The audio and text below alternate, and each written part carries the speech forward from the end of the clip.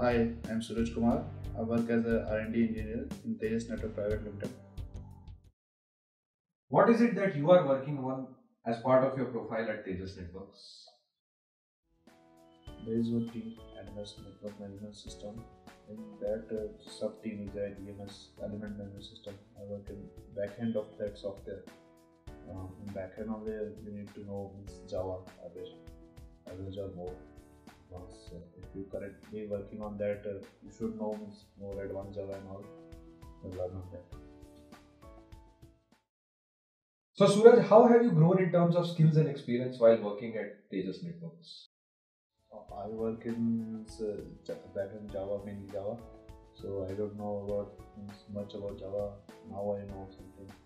Uh, that skill you have.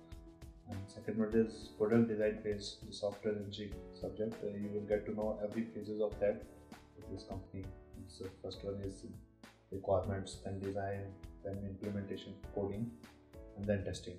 All you can see is how the whole process is going. And, uh, Third uh, means uh, when you in company after three four months you'll get one feature and work on that. You work on that. Um, in that feature you have in design phase you have to give some presentation and all means they will requ- uh, they requires the manager will review it.